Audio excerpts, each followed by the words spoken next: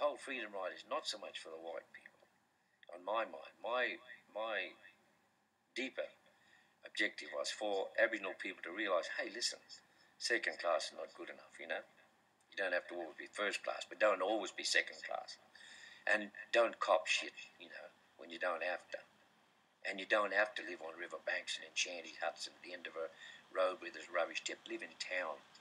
And you don't have to have cop these white men sneaking around pinching Aboriginal women at night, you know, sitting down the front of picture theatres, not being able to sit in a restaurant if you nobody allow you as an Aborigine to sit in a restaurant. That's, that's not on. And, you know, and the timing was right. If I didn't do it, somebody else would have done it, and other people have done it in a different way.